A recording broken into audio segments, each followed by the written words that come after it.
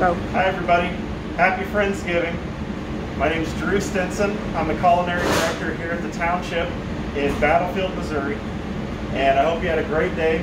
I just want to kind of show you a couple things to do with the leftovers that you might have. I'm going to show you my favorite sandwich to make, a Thanksgiving leftover sandwich. So I take some stuffing and I make a waffle out of it.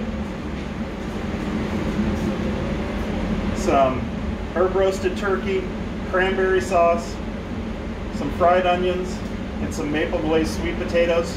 You can put anything on this, there's no right or wrong. This is just what I like. So do the turkey, cranberry sauce,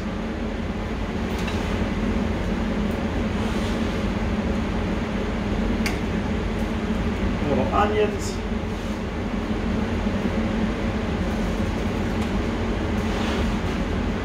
some sweet potatoes, top with the other side.